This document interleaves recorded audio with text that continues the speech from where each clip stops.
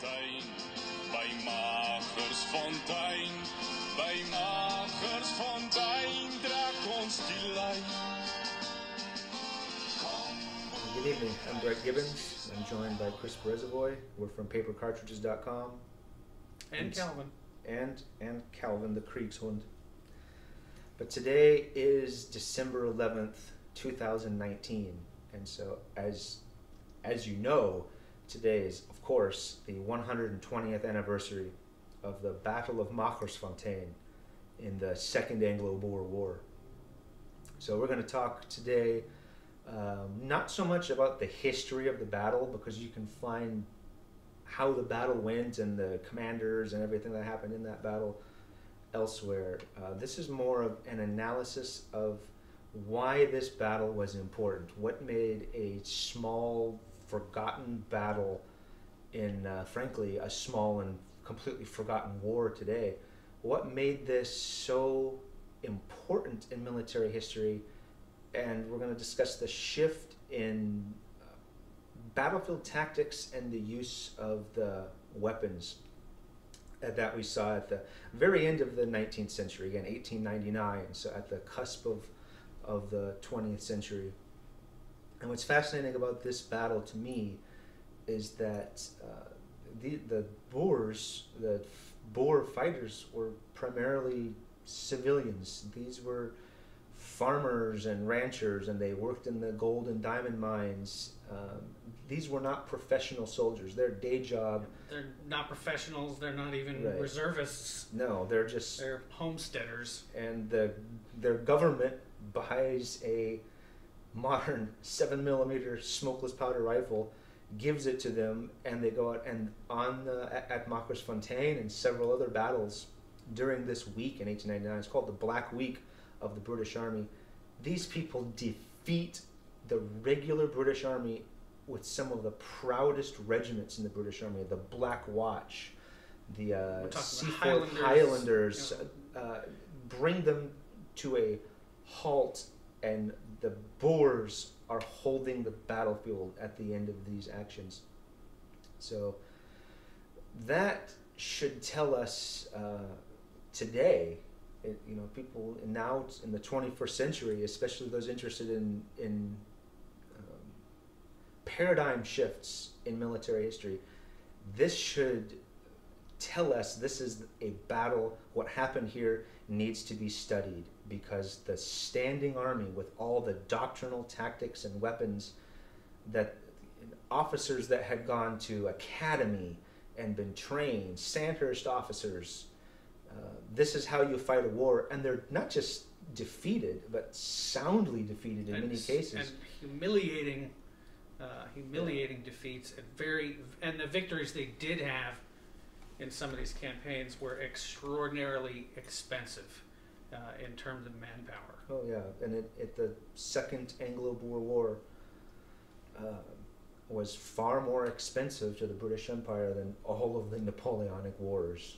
Um, they ended up having to send three hundred thousand men to South Africa to basically subdue and occupy thirty thousand uh, Boer fighters.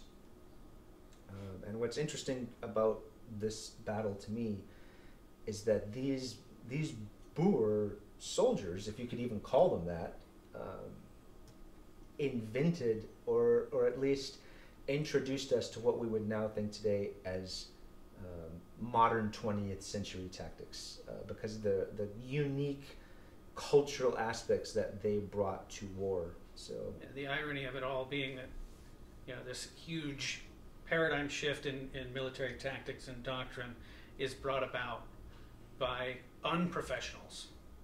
Um, you know, total, yeah, utter laymen in, in military terms who armed themselves well and uh, essentially refused to fight by the uh, by the playbook. Um, and, didn't and you have see the in- playbook to go off of. and you see, you see in some of the engagements, they're not what we would call today asymmetrical.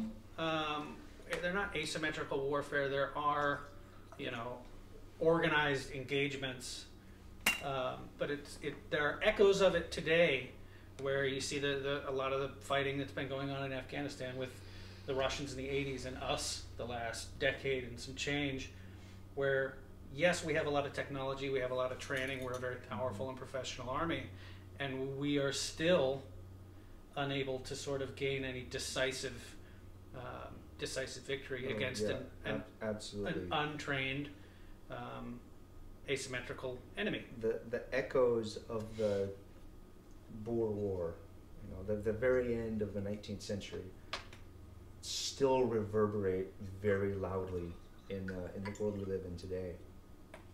Um, and and it is not on uh, YouTube. There are just such a small handful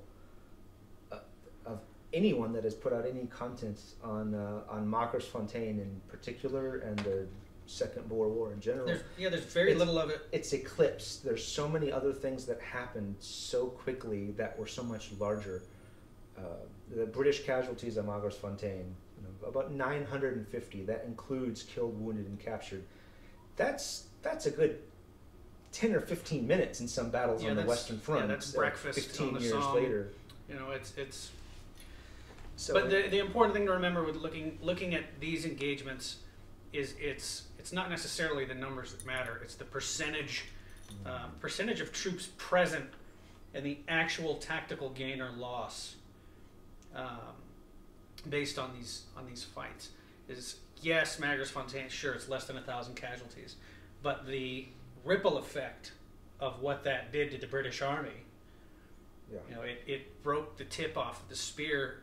Um, you know, a spear at the time crafted of very, very, very well known, you know, household name regiments that were lauded as the elite. Um, with combat experience, with recent combat experience in and the they Sudan. positively had their teeth kicked in. Um, I like studying, and I use this phrase a lot. I use it a lot in my book, The Destroying Angel, which is on Amazon for twelve dollars.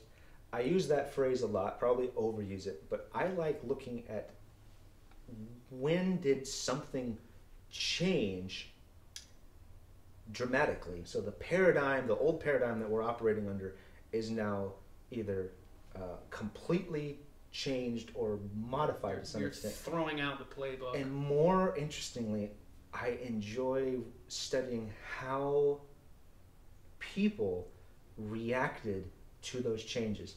90% of the time, they get it, what we would now today say, wrong. And we look back and we say, well, why did the British advance into fire from modern smokeless powder, high velocity rifles in columns?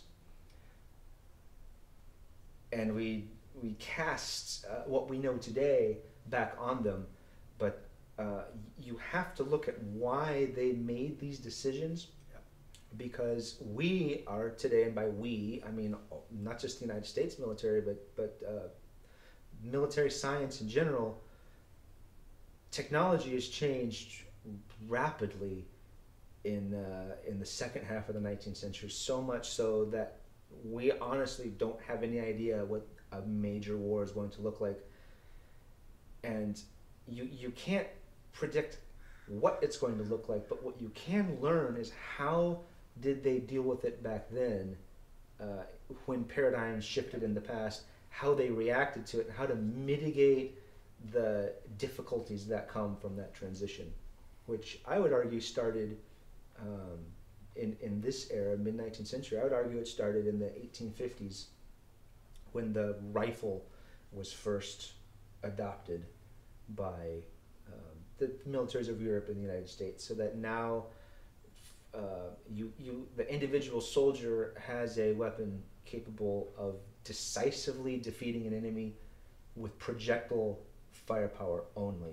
So um, the bayonet and actual hand to hand get up close and personal with the enemy and fight him, you know, soldier to soldier. That the old Napoleonic and pre-Napoleonic paradigm fire fades volley away. and charge. And if Yeah. you look, uh, just, for, I mean, for for American context, if you look at the American Civil War, um, even though the American military didn't hardly scratch the surface on the potential of, of rifled muskets as an implement, there was still enough of a change in firepower that the the number of bayonet wounds you see in casualty reports across the war versus any Napoleonic conflict or a conflict fought primarily with soldiers armed with smoothbores, the number of bayonet casualties is yeah, infinitesimal.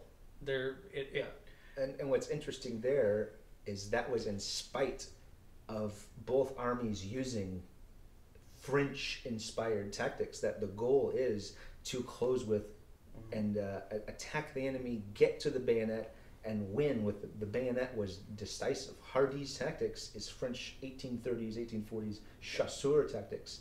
So even though they were trying to get close and fight with the bayonet, they still couldn't. didn't a bunch of reasons for that too. The the lack of a professionally trained armies, um, uh, but uh, the takeaway is that projectile combat is now by the American Civil War and then by the Franco-Prussian War in 1866 and then um, uh, the Austro-Prussian War in 1866, Franco-Prussian War in 1870.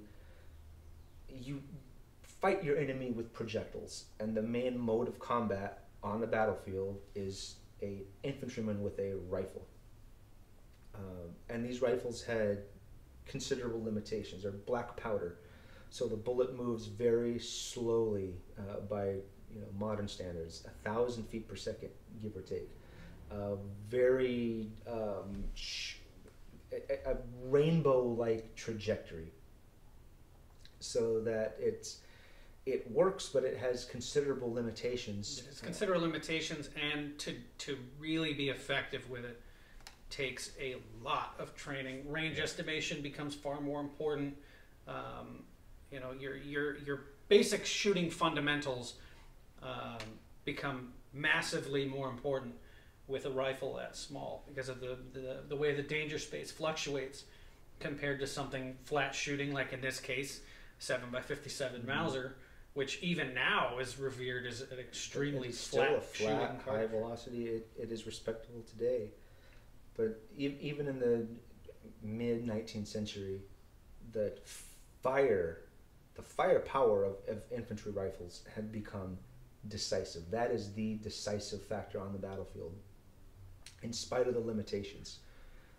Um, the the trajectory, the weight of the ammunition. Soldiers don't have very much ammunition, and so that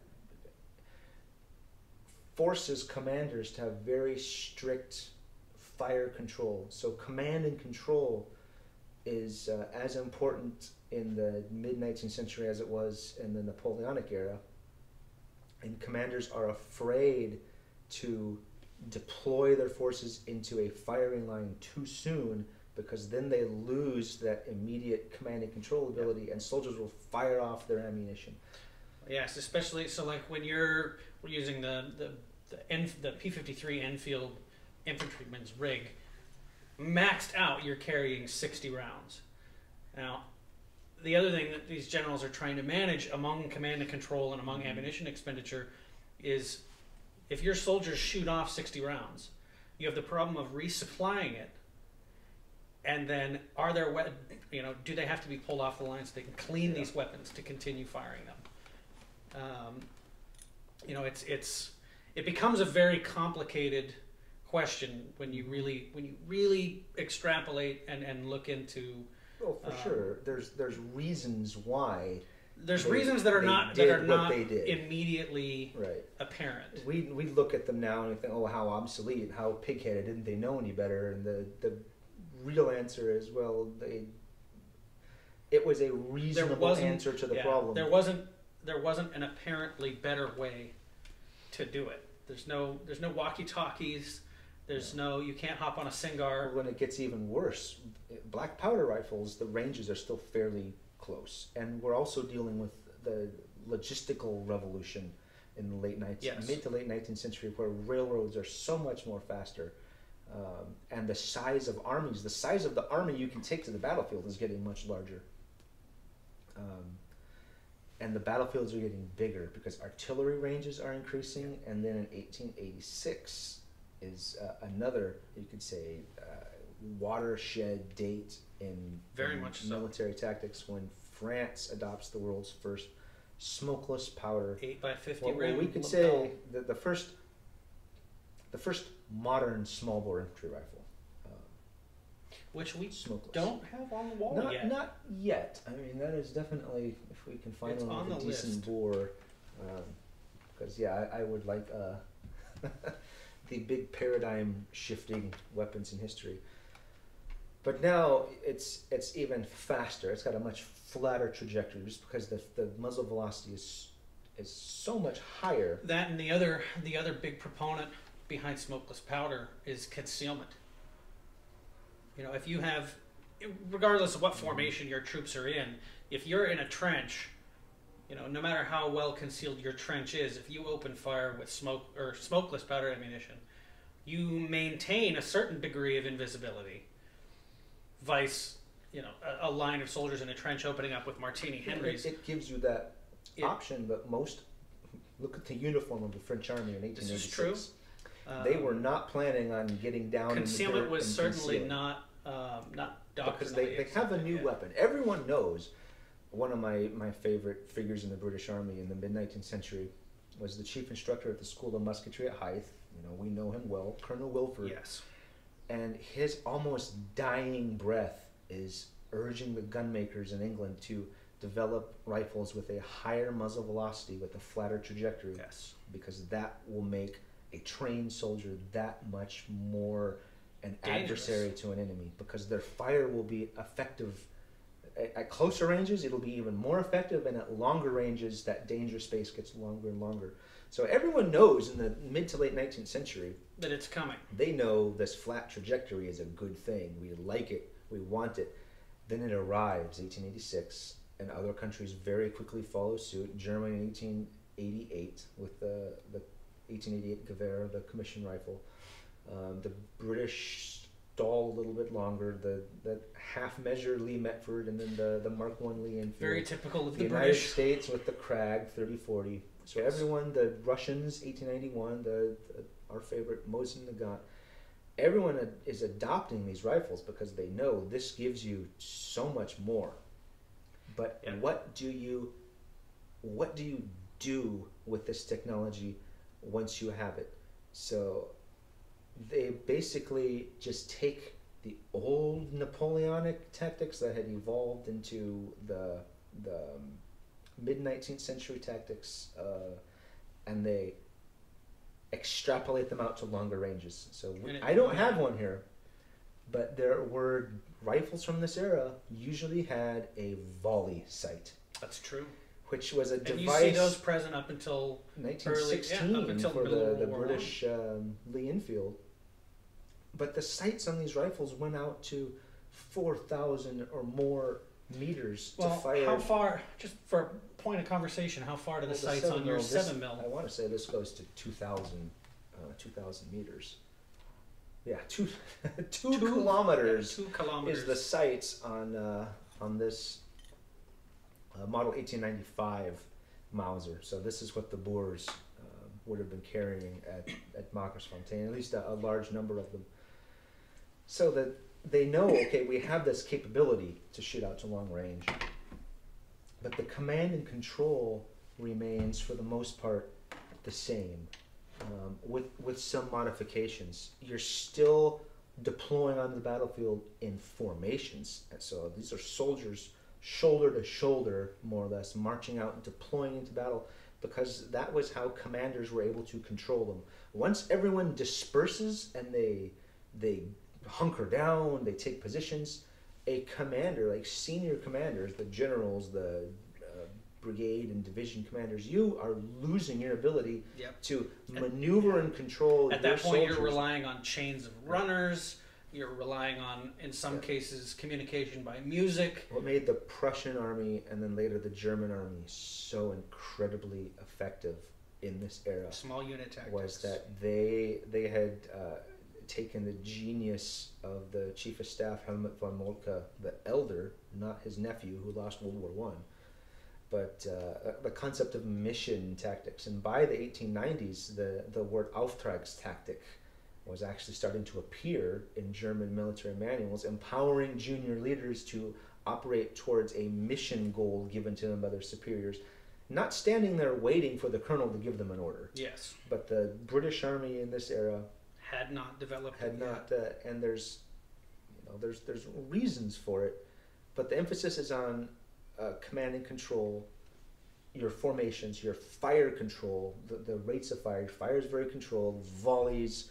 Everything's out to longer ranges. It's now been projected out to these great the distance, the smokeless powder distance ranges. changed, but the tactics and administration didn't It's change. it's still much. it's 19th century tactics with longer ranged uh, modern weapons with with full power cartridges. You know, seven millimeter Mauser 303 British. We consider those you know full power rifle cartridges um, to this day.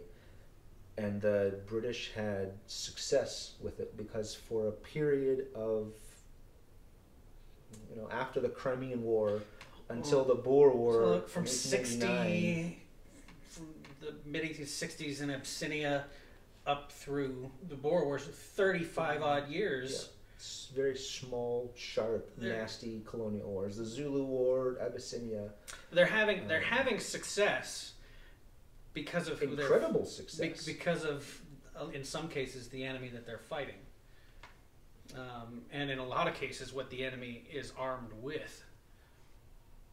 And yeah, well, the Boer War was certainly not uh, No. what they were expecting. They had a 35 year sort of wins winning streak. Uh, so why would you? colonial You know, why would you and, change and tactics? these tactics worked extremely well in these campaigns. You, you look in 1898, the British campaign in the in the Sudan uh, against the the Mahdi, and the the casualty figures are ten thousand of the enemy, and uh, a handful, a few dozen British.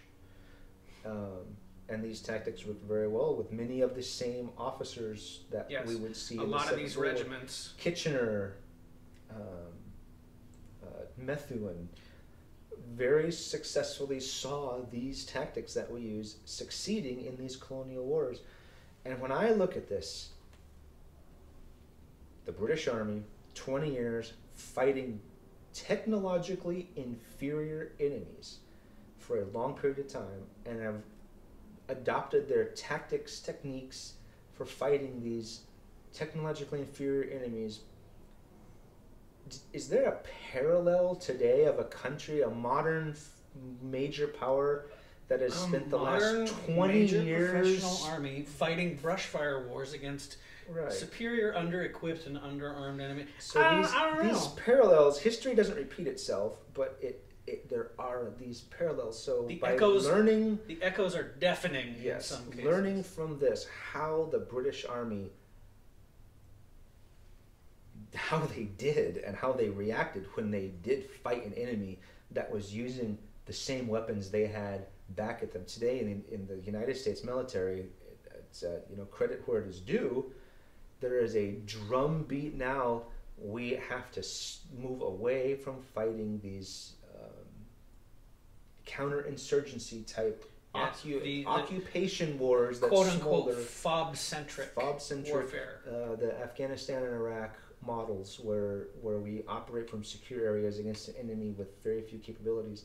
Now we have to focus on fighting a near peer, because it, you know, think in- intelligent people in uh, in positions of authority have learned from history. Now the British Army, when they went in in uh, 1899, um, unfortunately assumed the tactics that had worked so well for us against uh, at Omdurman and, And I think I think culture has a lot to do with it. The, the you know the, we're talking about the British Empire, you know, near the top of its game. yeah, and They're- these are these these are Dutch speaking You farmers. know, they're they're itinerant farmers. They're poor, dirty, grubby, bearded people. Calvinists. You know, they're they're not. If if you're an imperial British colonel, a Dutch Boer in a floppy hat is not Yeah. the enemy that keeps you awake at night. and the the heroes, you know, Gordon of Khartoum, Kitchener. This is the the proudest moments of military honor for the the British Empire. With um, the sun is not setting on it, they have overwhelmingly, without uh, a, two power standard in their navy. So they have twice as many battleships as the next possible country um, country's navy after them, and these are thirty or forty thousand ragtag, floppy hatted, bearded Calvinists with a president, the president of the Transvaal, Paul Kruger, probably apocryphally, but at one time is supposed to have met a person who had circumnavigated the globe, and he says, "You're you're full of it. The Earth is flat. If the Earth was a globe, the Bible would have said so." He says, "I've only read one book in my life, and it is the Bible."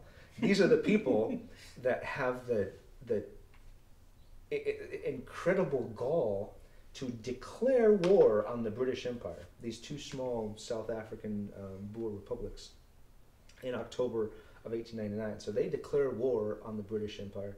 A lot of reasons for that. We don't have the time or we're not the- gonna the we're not gonna go into the politics behind it. Um, the Jameson raids, Cecil Rhodes, uh, the the Cape Town to Cairo railway, all of these these schemes, just total complete Cliff Notes version.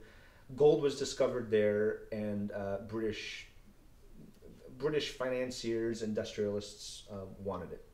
Surprise, long, surprise. long story short, if you could boil down the, it was much more complicated than that. But to boil it down, the reason for the war, the the, the British Empire's expanding progress, if you could use that word, was was looming over these Boer republics, and they said we've had enough of it, um, and declared war. So the the British Army had little reason to think that these enemies were going to be much different than the ones they had fought before. Very theoretically non-threatening. and the the Boers are uh, and, and Boer is farmer in in Afrikaans or Dutch, um, and it's very similar in German. They're uh, they left the Netherlands um as uh, um, farmers, and they moved to South Africa. The the Voortrekkers fought a bunch of battles, uh, learned a lot of they they learned how to fight in this new way from the uh, the native African enemies they were fighting, and they adopted a lot of their techniques. In Europe, you had an almost inexhaustible population. You could keep calling up Napoleonic conscripts, but in South Africa, Crazy. fighting men are scarce. So they learned there's no honor. A European battle, there's honor in going down to the last man. You know, hold not one step back. We hold the line. The Boer approach is no. You you fight until you no longer have the advantage. Then you fall back, regroup, and fight again when you have the advantage. And you So see that, and we see that happening a lot in, in the in the campaigns where the, Oh, the. Boers will fight a sharp, violent action and then disappear, and the British military was absolutely furious. Yeah. You know, how dare they? It's almost like how dare they have the nerve to run away? And so, in, in press releases at the time, you see oh, the Oh, yeah. British declaring victory. We won. The enemy abandoned the field. They, exactly, it's the that field. European mindset. We Right. held the battlefield, We won. therefore we won. They lost 60 men. We lost 400. and we won. know, sweep sort of sweep the numbers under the rug. But they weren't there when the smokes when the smoke cleared. Therefore, we are the victors. And and the Boers are looking at it from a very pragmatic viewpoint of, Right. well, you didn't kill us, and our entire you know our entire mission is to just kill you and slow you down. They're they're a incredibly unique people. Um, with with some uh, with some controversy, although you you can't project 21st century um, political correctness on the 19th century, and uh, and then have any context left to discuss. Yeah. but a, a un- unique and controversial people, fiercely independent and incredibly democratic. They elected their officers, and these these were civilians formed up in units called commandos, which we still use that term word. that we you can see uh, the influence of the Boer War is still. It's interesting to me that the British Army actually has units that are officially named commando. Yeah, and that was borrowed from. Uh, Stolen from from the Boers. well, every almost every um, you know football fan in the UK knows about Spion Kop, another battle of the Anglo-Boer War, because there's Spion Kops in many of these football stadiums. Soccer for my you know lowbrow American audience here. And they don't know that Spion Kop is another major battle of the Second World War, and now there are these Kops in different uh, football stadiums in the UK. Anyway, that irrelevant sidebar.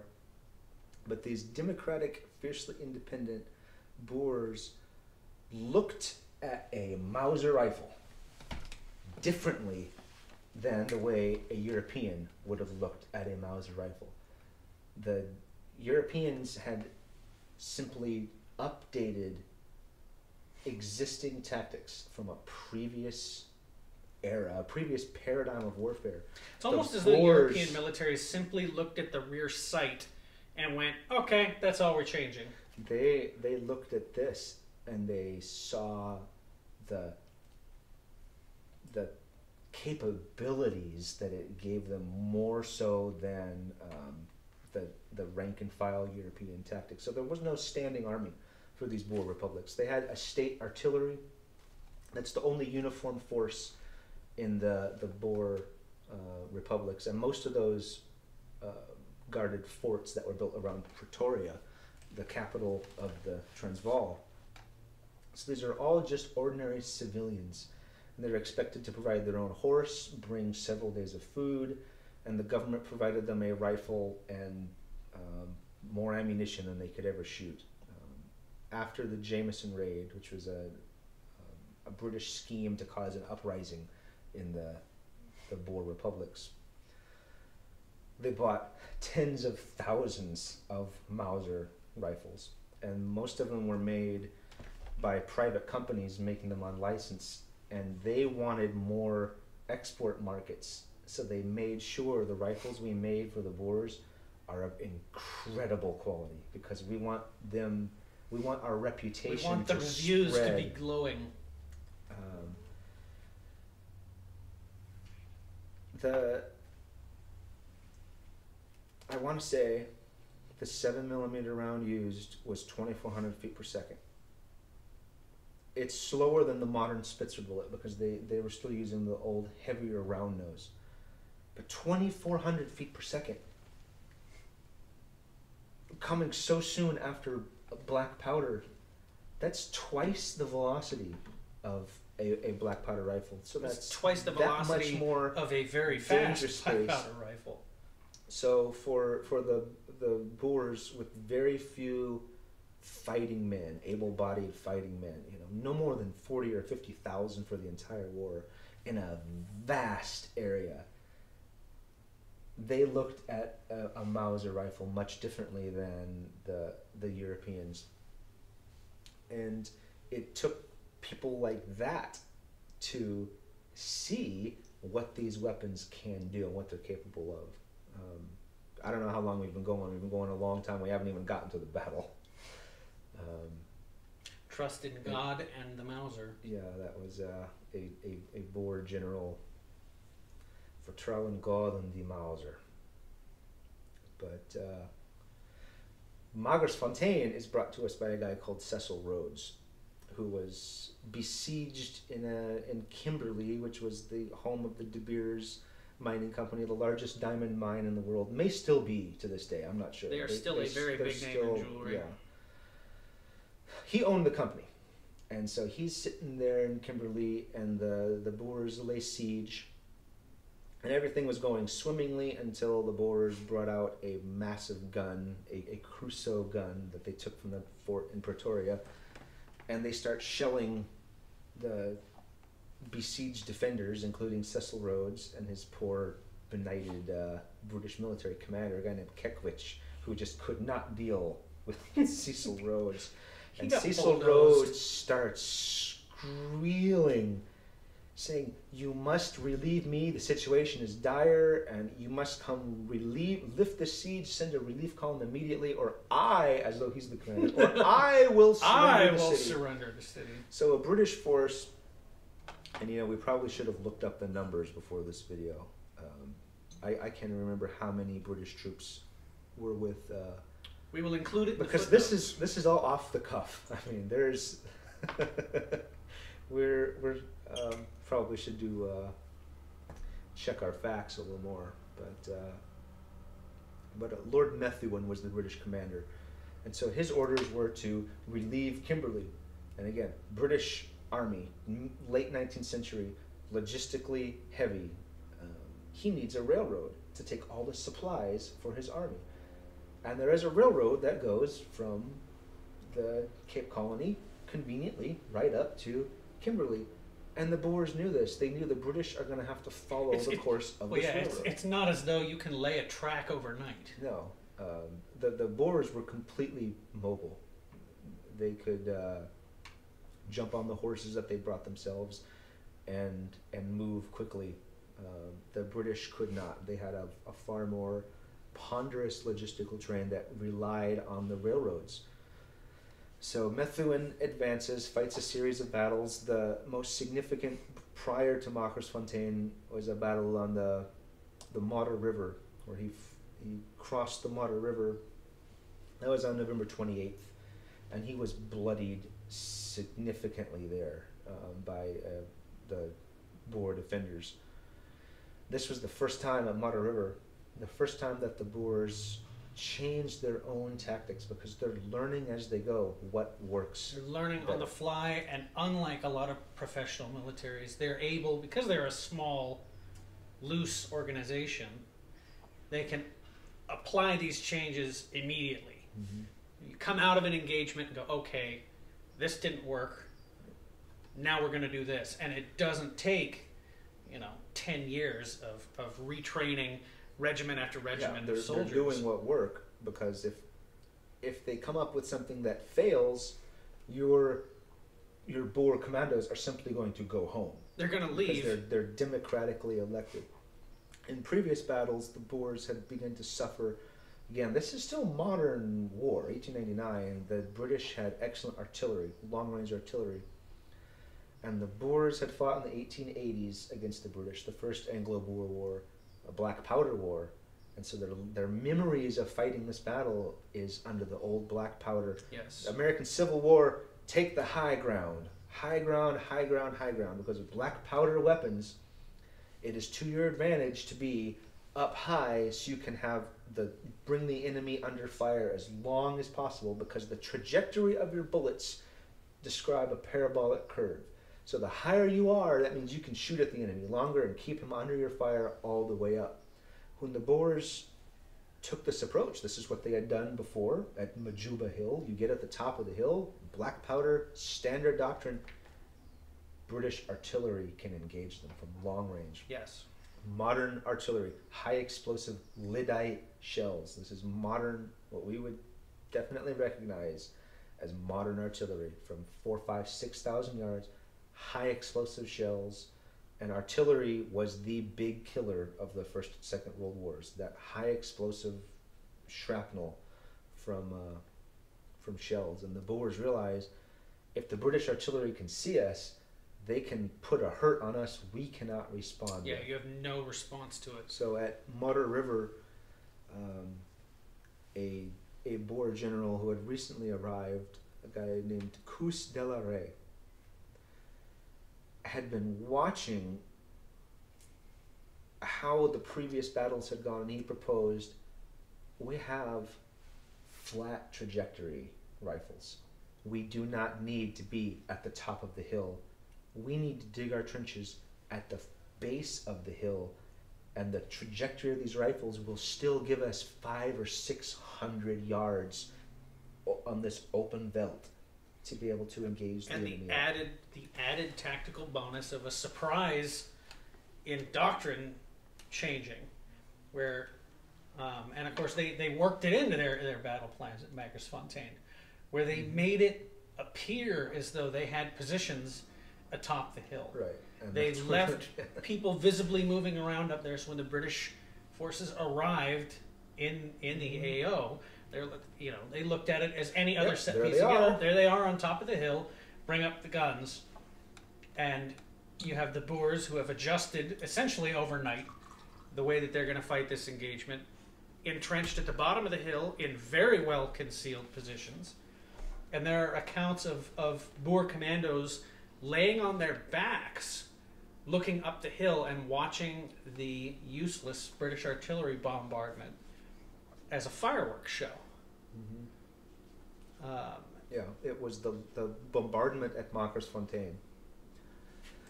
When Lord Methuen decided I'm going to attack here, um, he gave them 10 days to prepare. And the Boers knew exactly where he was coming because, again, he's tied to the railroad. So there's no, there's, there's no tactical or operational subtlety about this. He is coming on this exact route. Yep. So the Boers fell back after Modder River to the next to the next this is the next best place um, and prepared their trenches and it took uh, it took lord methuen 10 days to finally get moving again.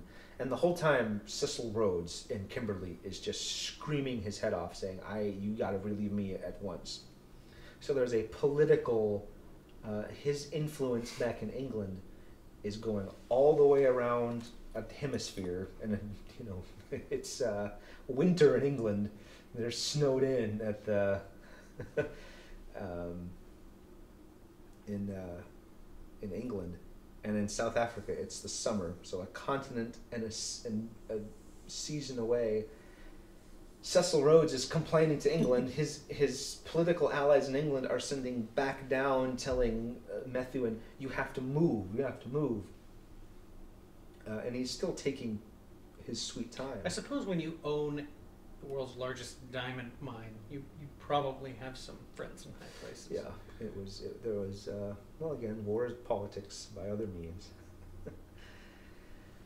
so on the tenth, when uh, Methuen finally reaches what would be the battlefield of Fontaine, he sees the Boer artillery and uh, the the Boer commandos at the top of Fontaine, the kopje, the the large kopje there, which is just the the word for a, a hill, a small hill. And on the 10th, opens fire, which is the largest bombardment since uh, the bombardment of Sevastopol in 1855 in the Crimean War. So there, there is some weight of shell being thrown, and it causes virtually no casualties whatsoever to the Boers because, again, on, on General De la Rey's recommendation, they are now dug in in positions at the base of the hill, and all the shells are going over their heads and bursting at the at the top. where Credit where credit's due. Koos de la Rey had every right to not be in the best frame of mind uh, going into the fight at Fontaine. Mhm. Um, he had had a son killed at Modder River. You know, we're talking less than two week- weeks week earlier. right. prior, um, and was that dedicated to the fight to still show up and go, okay, we need to He tactically went home, adjust. buried his son, and then took the railroad back down uh, to um, prepare. And he did not like the. And again, he's not the commander. He's just the good idea fairy. you know, nine times out of ten, the good idea fairy. The ideas aren't very good, but his idea was good, and it was good enough that. Well, there's a um, reason there's a song yeah, about it. though the president of the Orange Free State agreed with him, and they fired the old commander, a guy named Prinsloo, and they put uh, General um, Piet Cronjé in command, and De la Rey's influence, because it had worked so well at the Modder River, um, they decided to go along with this idea, and it wasn't like the obvious answer. The Boers did not like to fight this way with the hill behind them, because the Boer Well, it does. It goes war, against all of your previous you're experience. you're up on top of the hill. You shoot at the enemy until then the you enemy gets leave. close. Then you run down the hill to where your horses are, and then you gallop away. So putting yourself in front of the hill meant you don't have. You do not if, have the if the of enemy reach escape. you and you need to run. You don't have to clamber up this hill, and the enemy's going to be shooting you in the back. So it was not like the, oh yeah, duh. Why didn't we think of this It before? was. It, was took- a gamble. Right. Um, it, it wasn't like the obvious. It, it didn't fit in their way of fighting, but it goes to show how quickly they adapted to tactical realities and tactical capabilities that new weapon systems gave them. That's why, again, this is a paradigm shift. Um, as you see the British doing, and it sort of mirrors it mirrors World War One tactics to a certain degree. This is the enemy's known position. We dump yeah, a mountain of shells on top of it, and then we we rush it with bayonet. Um, and at Magersfontein, that simply did not work. They fired a boatload of artillery shells into unoccupied positions on top of a hill, and boldly formed into their columns, and marched into a wall of and it, bullets. and it made. If you look at the British doctrine of the day, It made perfect there perfect was a sense. reason for it. It made they, perfect sense until the Boers started shooting. Yes, um, but again, their their concern is on command and control. Yes. and you know by 1899 the british doctrine was not we fight in column so they're not doing column attacks like the no, austrians it's, were in- not in, mirroring 1866 the the plan because again they know modern weapons long danger space flat trajectory. So if we're going to attack a position we're going to attack a hill doctrine says you you take your men forward at night. But at night you can't see anything that's the point that's the darkness is shielding you from enemy bullets from their new powerful long range weapons you move under cover of night the enemy can't see you but it also means the only way to keep your forces together is to pack them in in columns. So the doctrine says you will advance under cover of darkness at night. At dawn, you deploy into your open formation. So you go into what we would now consider more of a modern extended skirmish order. So you're not standing there shoulder to shoulder in ranks like Civil War or mid 19th century. You are in open order because again these are modern weapons and you know we all know what happens if you get caught in a column up against uh, modern rapid fire small bore high velocity rifles you basically die in place they know this but you still have to get your soldiers up close enough so that an assault can be successful that's done at night and that's done generally in column. So that the commander still has his troops in a relatively small space and he has especially the at ability night because it's to not as though you know if you're, if you're if you're if you're staging an attack under the cover of darkness you have to have your men localized because it's, it's not as though it's brilliant to you know get on a loudspeaker. Okay hey you take that column over there everybody has to be sort of Well, frequently they would have an advance party go forward with ropes, and they would lay ropes Yes. out, and the columns would follow these ropes, so that in theory, when the sun comes up, you know, first light of dawn as long as they follow the everyone line in is the right in place. the positions they need to be in order to launch the attack. Then your artillery opens up, and you move forward, and you're close enough that the enemy doesn't have you in their sights as long as Very they would long. otherwise. So can that's close the, the distance and it makes sense Mhm. for for an army that's concerned with command and control. Um, the, uh, the the Prussians would have done it differently, but Very again, so. no one knew that at the time. That's why this is a a change. This is you know, that that paradigm shift. I I probably use that phrase too much, but I don't know what else to call it. It's a change from the old norms and staying in the old way of doing things is now a, a non-starter. You, you you go on the battlefield using these old tactics and you die in place. You, you it is a decisive break from the way things were before. And uh, on the night of the tenth, the British artillery fires. They do their preliminary bombardment, and the British advance. Um, Lord Methuen had an observation balloon. Didn't use it. Um, there had been torrential rains.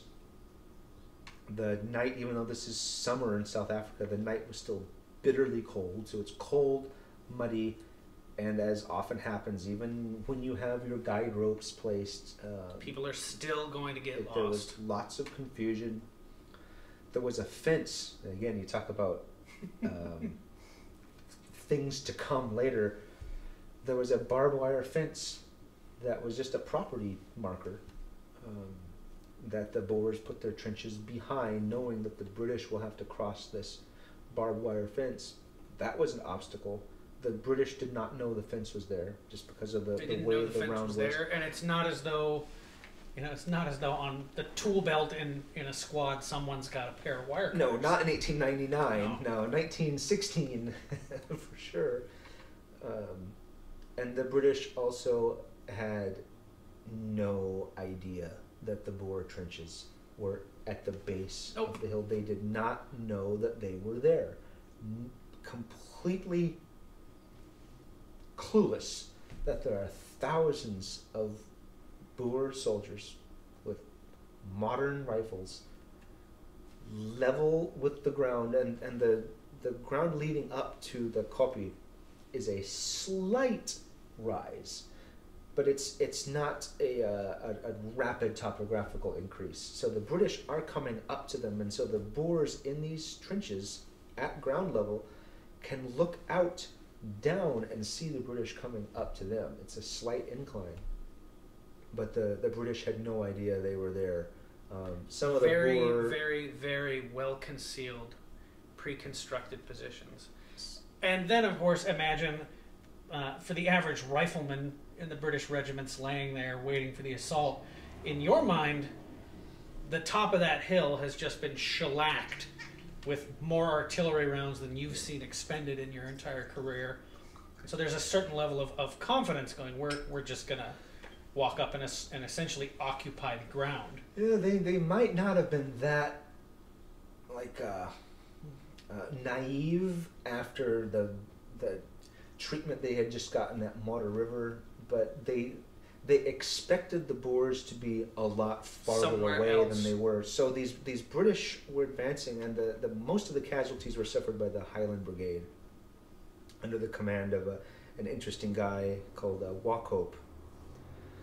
And he had no idea at one point that the Boers were only 400 meters away. He thinks they're at the top of the hill, which is another at least a thousand meters beyond. And even for a Boer soldier, thousand meters is a Very is, long that is a way. long way for someone with open sights, iron sight um, rifle to hit. especially shooting with all that adrenaline So he, and, they were not like thinking we are imminently in the dangerous space of riflemen 400 yards away with modern weapons. He, you know, Wauchope believed the enemy is still far away, and he wanted to keep his soldiers in their columns as long as possible because once you break out of those columns into extended order and the order to attack and charge up the hill is given, you're essentially you. You've lost, right? You're just, you know, you're, you're just in it for the glory at that point. Of course, this So- is a man who brought a claymore, a basket-hilted claymore sword on his belt into a fight with smokeless rifles. and uh, and should have known better because British officers had been getting picked off um, because of their their insignia and distinctive uniforms and swords by Boer riflemen up until this point. So probably should have known better. Um, and one of his subordinates asked him when they were, you know, give or take about 400 yards from the, the Boer lines, should we deploy? So in other words, should we get out of these columns where you've got all your soldiers packed in a column, shoulder to shoulder, um, in a, a 40 meter wide column? Should we break out of here and deploy into our open order and start moving forward? And Wauchope said, No. no, let's keep them in the columns a little longer to get a little closer. And that is when uh, someone tripped an alarm that the Boers had had rigged.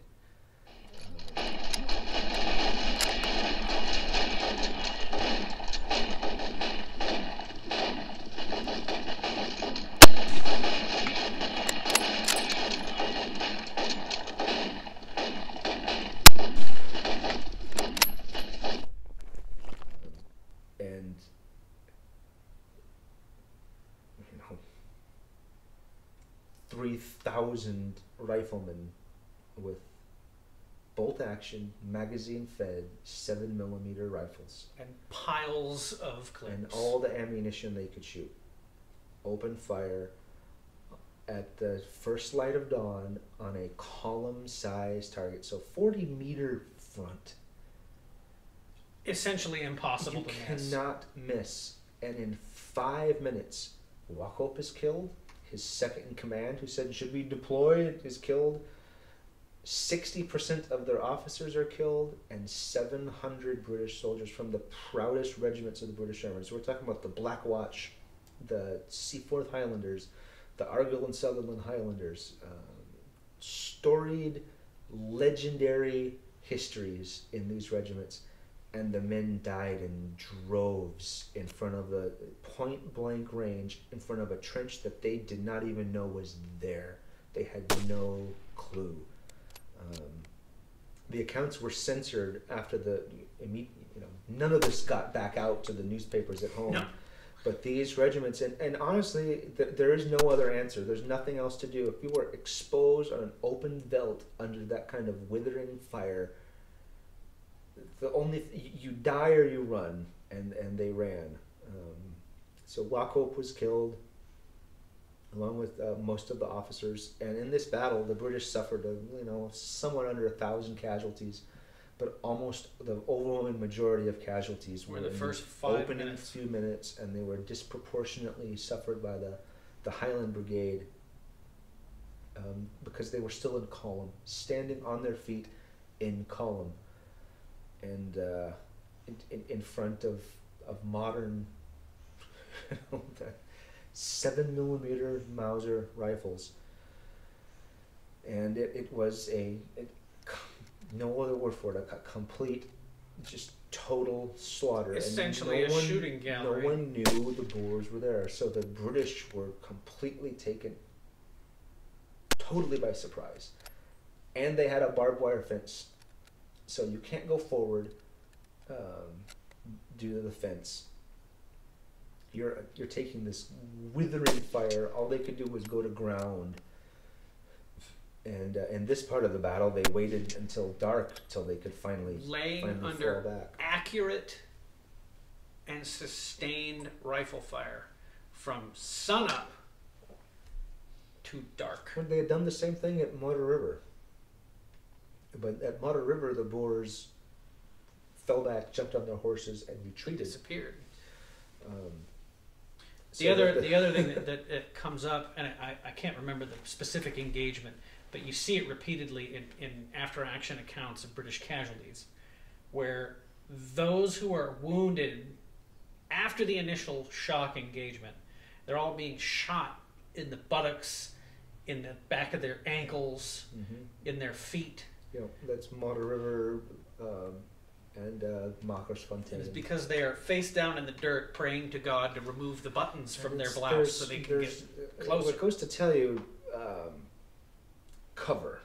cover versus You, you don't need a whole lot of cover to cover yourself. I, I took my company out uh, to Camp Pendleton a few months ago. And we had a class on cover versus concealment. Mhm. And you take a soldier, you know, one of my, someone a little, I need quite a bit of cover now. but you take one of my 19 year old soldiers, you put him down, and he's like, you, nine inches of cover. If, if you put yourself behind nine inches of earth, that is cover. That's all you need. So you can imagine this veldt. There could not have been very much cover. So if you're so pressed down to earth that you're getting shot in the buttocks and your ankles, that is five or six inches at, at most in some of these places. And these are flat trajectory rifles that command that space. You don't have that that Well, the- parabolic the- the site powder graduation trajectory. The sight graduation on your seven millimeter. you can't go lower than It doesn't even. You don't even start touching the sights. For what is it? Is it four hundred on this one? four four hundred meters. Four hundred meters. You don't even bother with the rear sight. It's okay. You know, and, and bear in mind the modern United States Army rifle qual goes out to three hundred meters and We- stops. We, don't shoot beyond three hundred. Uh, like that's call for fire. Yes, uh, that, that's mortar's problem. Yeah. Um, and so you have these Boers who are in a concealed, prepared position. Yeah. all the ammunition they could possibly shoot. And, And you, from- you don't have to be an expert marksman To hit at, a column, at, a, no. target that size. With all the ammunition you can shoot from a a, a uh, concealed and sh- protected Which position. uh, which engagement was it with the um, when they went to the Boer position that had been vacated and surveyed the brass that was left behind? well, that that particular account that was a journalist at at Modder Rivers. That was only ten days earlier. and uh, they they go to the British trenches at the end of the battle after Boer the Boers trenches. after the Boers had left, and they are ankle deep in brass seven millimeter Mauser cases. And so they could sleep on it. They could bury their dead in Uh, it, just because uh, all day long, just blazing um, away. Yeah, the the the journalist um, he he called it hell's vomit.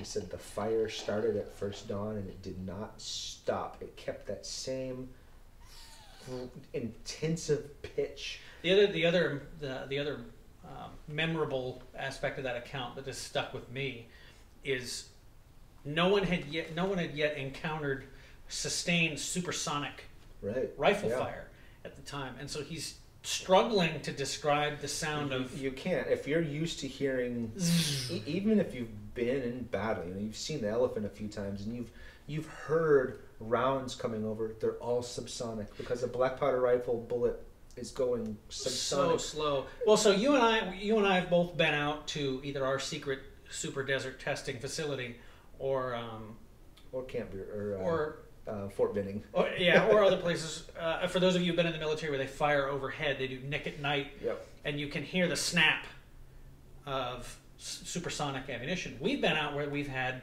muskets fired overhead just to actually hear what it sounds like, and you it can almost not even really hear it it's and it, it's it does genuinely sound like a bumblebee. It's it's a whizzing.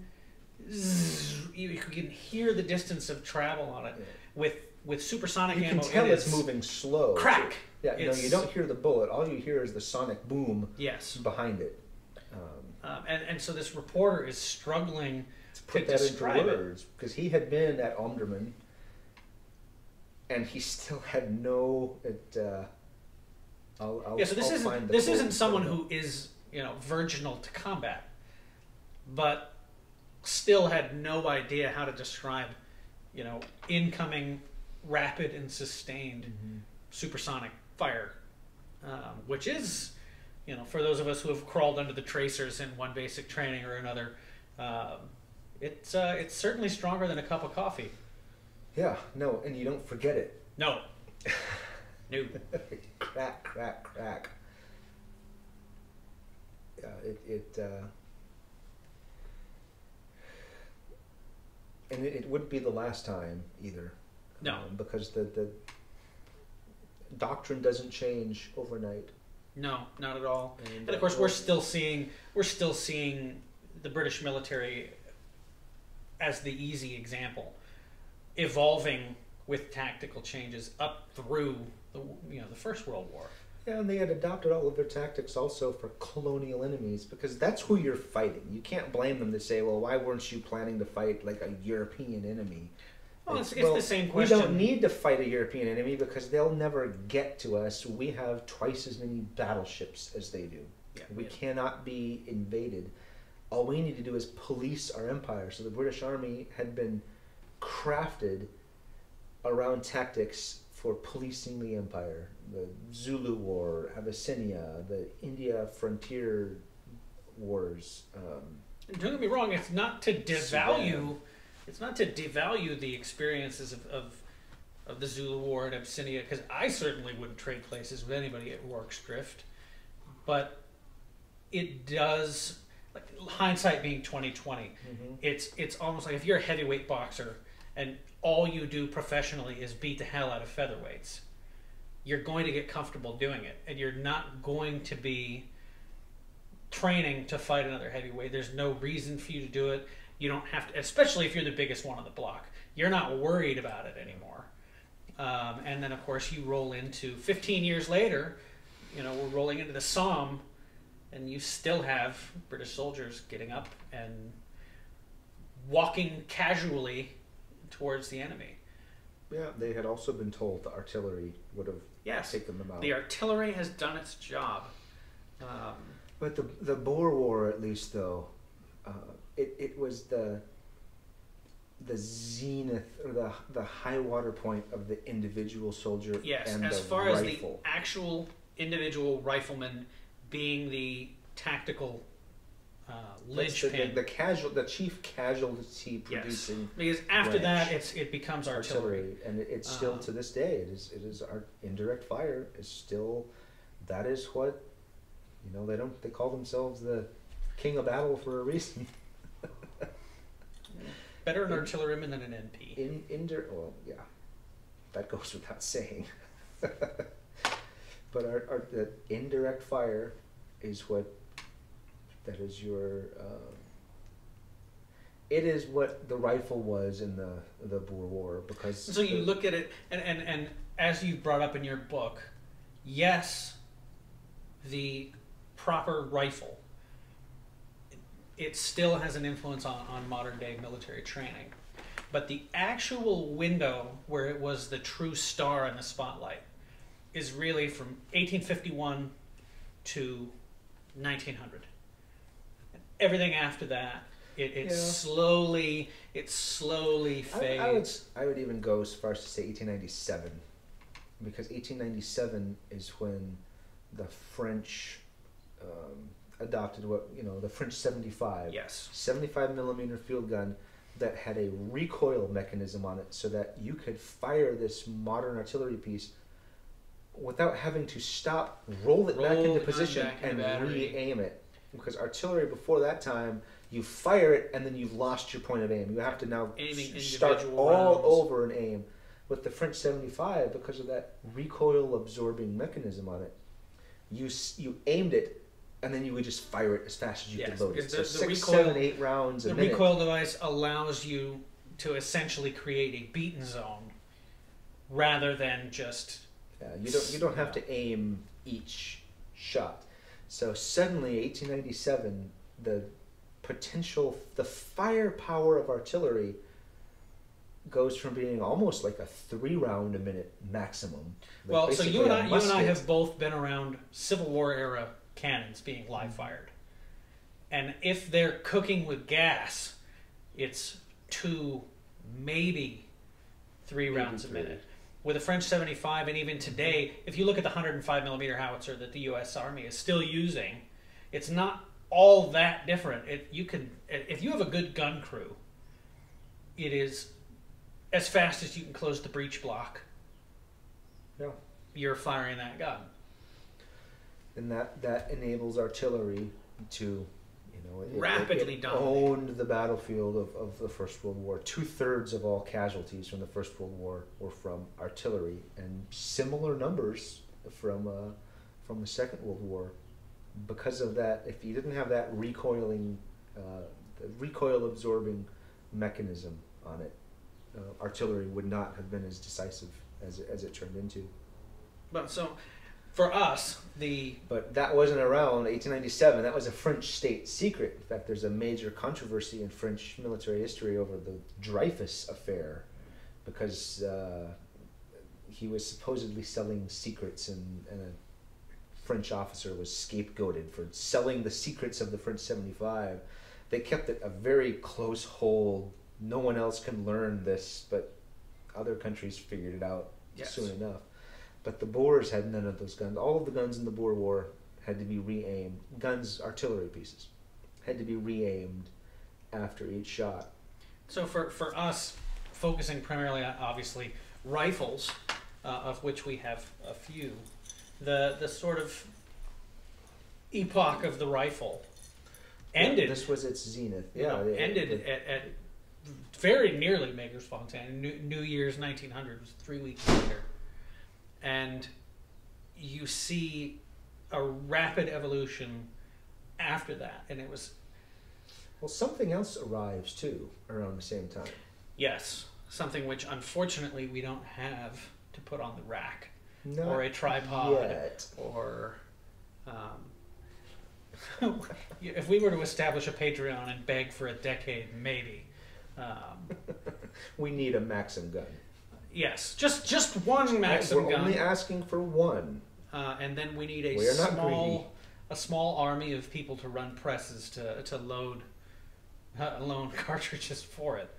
Um, but so for us, that the focus, you know, this sort of ends our era of research um, at, at 1899, 1900.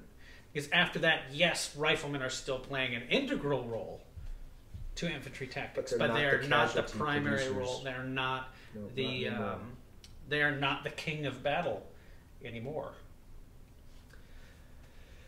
Well, don't uh, don't say that to an 11 Bravo. I don't have to say that to anybody anymore. Um, and if you are an 11 Bravo or an MP and you are watching this video, don't forget to like and subscribe. But remember that uh, there are other MOSs in the Army who breathe through their nose. You should try it sometime. What logistics war? So, um, on that note, Yeah, the the Boers did something at Fontaine that they did not do at previous battles, and that is held the field. They didn't abandon the battlefield like they had done before. Which so sort of confused a lot the of The morning of the twelfth of pompous British December, the British woke up, and the Boers were still there in these positions, and you know. Again, long story short, eventually uh, Kimberley was relieved, and uh, and these early war set piece battle that's what they called the, the the first four or five months of the Second Anglo-Boer War was the what they called the set piece battles. So that's where the, the Boers have an army and the British have an army, Yes. and they would fight a battle. After after February of uh, 1900, the main Boer army is actually um, captured. The whole thing surrenders at Paardeberg, and it turns into three more incredibly bloody and grueling years of guerrilla warfare, and that's where we see for the first time the concentration camp comes out of it, and a a complete physical occupation. Uh, the British taught us if you really want to beat an insurgency, and you Yes. want to you want to snuff it out, the British taught us. entirely They subjugate the taught us how you do it. Well, if you look at the the blockhouse strategy, where they essentially put the Transvaal physically occupy occupy the entire chop it country. into grid squares, and if you build a fortification in every single one of these and occupy it, then Yep. you will control and the country. anyone that can provide any aid or benefit to the enemy lock them up or kill them. is is uh, is And, driven uh, off. Um, yeah, they they taught us how to beat an insurgency. Um, so the the set piece battle era, um, you know, still had these paradigm shifting moments, and, and Fontaine was the second of three battles that composed the Black Week of the the British war effort in South Africa. There was the Battle of Stormberg, which was on the tenth, and then and again we don't have notes off the top of my head. I think Colenso was the fourteenth or fifteenth of December. I, I can't. It was remember. within. It was in. It was I've within a week. I've just had half a 17th. bottle of scotch, so you're gonna have to cut me a break. Yeah, I was still in the Black Week in Colenso.